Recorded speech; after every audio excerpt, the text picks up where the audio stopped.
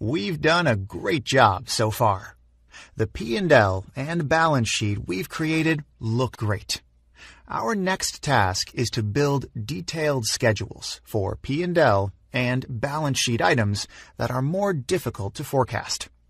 Let's start with PP&E. When professionals model PP&E, they use the term fixed asset roll forward. Let's create a new sheet and quickly use the formatting macro we've saved before. I'll name the sheet Fixed Asset Roll Forward. Let's copy the header of the balance sheet. It's perfect for this sheet too. The items we will have here are beginning PP&E, the amount observed during the year, depreciation and amortization, known as D&A, which is a cost in the P&L, CapEx, standing for capital expenditures, the amount spent to buy new PP&E. And this gives us ending PP&E. We have a beginning and an ending balance. D&A pushes down the value of PP&E. Its role is to show some of the firm's equipment age and that it is less valuable, while CapEx increases PP&E, given these are new acquisitions. I'll apply a total formatting for the bottom line, ending PP&E.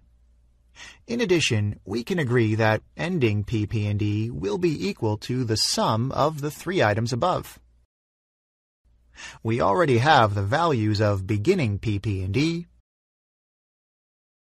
D&A, and ending PP&E for 2015.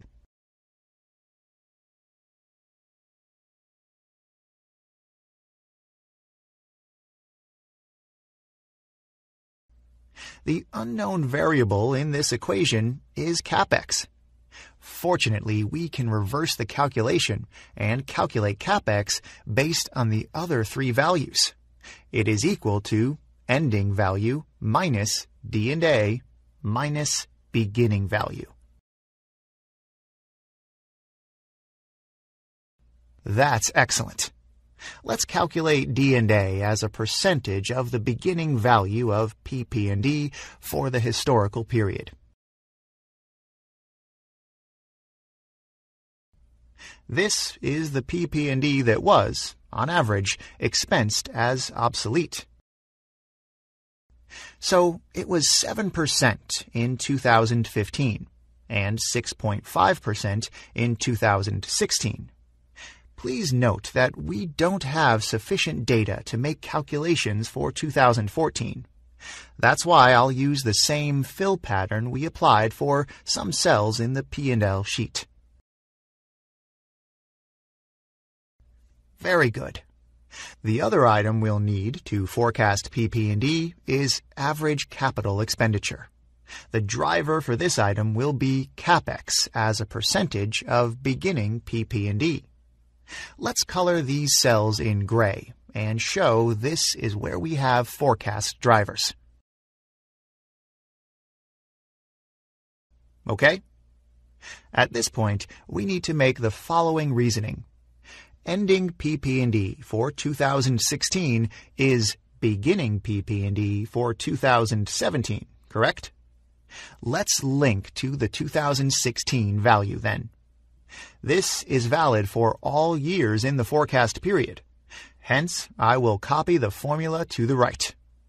The amount of D&A and CapEx that will be observed can be modeled with the help of the two drivers in the gray box. Let's calculate their average and assume it will be observed in the forecast period. Okay, perfect. All we must do now is multiply these values by beginning PP&E, and this gives us D&A and CapEx. This is how we obtain the values of D&A and CapEx for 2017, 2018, 2019, 2020, and 2021. Beautiful.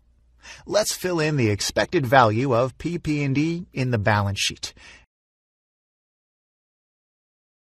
And the expected value of D&A in the profit and loss we've created.